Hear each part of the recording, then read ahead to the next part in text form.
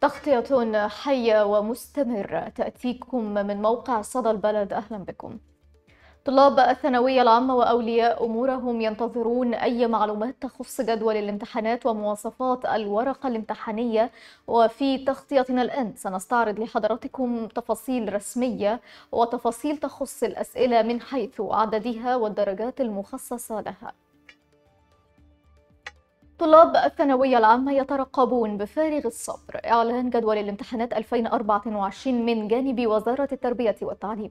وخلال الساعات الماضية تم تداول جدول امتحانات الثانوية العامة 2024 على وسائل التواصل الاجتماعي والذي أثار جدلا كبيرا بين رواد مواقع التواصل الاجتماعي. وبدورها نفت وزارة التربية والتعليم والتعليم الفني صحة هذا الجدول الذي يتم تداوله قبل اعتماده من الوزير وأكدت أنها غير مسؤولة إلا عن جدول الامتحانات الذي سيتم اعتماده رسميا من قبل الدكتور رضا حجازي وزير التربية والتعليم والذي سيتم إعلانه في بيان رسمي على الصفحة الرسمية لوزارة التربية والتعليم والتعليم الفني على موقع التواصل الاجتماعي فيسبوك والموقع الرسمي لوزارة التربية والتعليم على الإنترنت. ولكن الوزارة كشفت معلومات مهمة عن جدول امتحانات الثانوية العامة 2024 وتمثلت فيما يأتي. سيكون موعد بدء امتحانات المواد غير المضافة للمجموع يوم الاثنين الموافق 10 يونيو 2024 أما المواد المضافة للمجموع فسوف تبدأ امتحاناتها يوم السبت الموافق 22 يونيو 2024 وكان قد طالب الأهالي بمراعاة عدة أمور في جدول الثانوية العامة حيث قالت عبير أحمد مؤسس اتحاد أمهات مصر للنهوض بالتعليم وائتلاف أولياء الأمور أنها استطلعت آراء أولياء الأمور حول مقترحاتهم بشأن جدول امتحانات الثانوية العامة وطريقة ترتيب مواعيد أيام المواد داخله.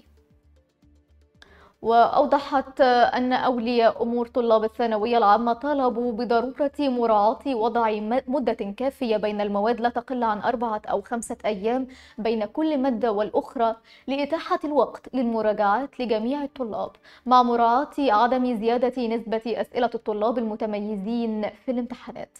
كما طلبوا أيضا بعدم وضع أسئلة تعجيزية.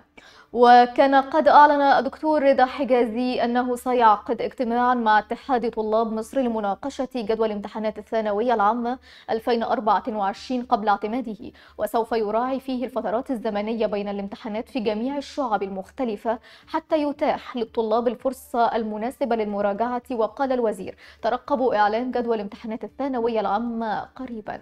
كما وجه أيضا بإجراء امتحانات الثانوية العامة في المواد غير المضافة للمجموع قبل عيد الأضحى المبارك على أن تبدأ يوم الاثنين الموافق 10 يونيو 2024 حتى يتاح يتاح للطلاب فرصة إجراء المراجعات اللازمة قبل بدء الامتحانات في المواد المضافة للمجموع والمقرر انطلاقها يوم السبت الموافق 22 يونيو 2024 وكان قد عقد الدكتور رضا حجازي اجتماعا مع رؤساء المواد والمسؤولين عن سحب بنك الأسئلة لامتحانات الشهادة الثانوية العامة 2024 بالمركز, بالمركز القومي للامتحانات والتقويم التربوي وذلك بمقر المركز.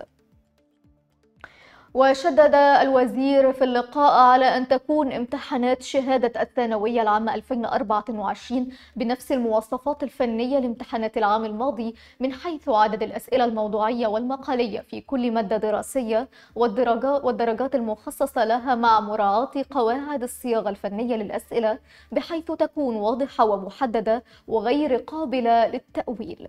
وأكد أيضا مراعاة تناسب عدد الأسئلة في كل امتحان مع الزمن المخصص مخصص للإجابة والمراجعة. ويكون توزيع درجات الأسئلة المقالية على خطوات الحل وليس على الناتج النهائي فقط. ووضع نموذج إجابة للأسئلة المقالية يتضمن كل الإجابات المحتملة. كما أكد على أن تكون الأسئلة الموضوعية واضحة ومحددة وأن تكون لها إجابة واحدة صحيحة فقط بين البدائل الأربعة ووجه بضرورة مراعاة التكافؤ بين مواد اللغات الأجنبية الثانية. وأوضح الوزير أن الامتحانات ستكون بنظام الكتاب المفتوح Open Book أسوة بالعام الماضي حيث سيستلم الطالب كتب المفاهيم في بداية امتحانات كل مادة ويسلمه للملاحظ في نهاية الامتحان. ووجه وزير التربية والتعليم بضرورة التركيز على أن تقيس الأسئلة نواتج التعلم الأساسية والتدرج في مستويات الأسئلة والابتعاد عن التعقيد. وبناء على ذلك ستكون مواصفات امتحانات الثانوية العامة لهذا العام بنفس مواصفات العام الماضي دون تغيير. وسوف تتمثل فيما يأتي. 85% من أسئلة الورقة الامتحانية ستكون اختيار من متعدد والأسئلة المقالية لا تتعدى 15% حسب طبيعة كل مادة. وسوف تكون 30% من الأسئلة للمستويات العقلية البسيطة و40% من الأسئلة للمستويات العقلية المتوسطة و30% من الأسئلة للمستويات العقلية العليا. ويتم الإلزام بدقة صياغة الأسئلة وفق قواعد صياغة الأسئلة الصحيحة كما تنعقد امتحانات الثانوية العامة 2024 في صورة بابل شيت ويتم تصحيحها إلكترونيا وستكون أسئلة من المنهج الدراسي بأكمله. وسوف تعقد امتحانات الثانوية العامة 2024 بنظام الكتاب المفتوح الأوبن بوك إلى هنا مشاهدينا الكرام نكون قد وصلنا لختام هذه التغطية. بشكركم شكرا جزيلا على حسن المتابعة ودمتم بألف خير. كنت معكم أنا ياسمين فتح الله. شكرا.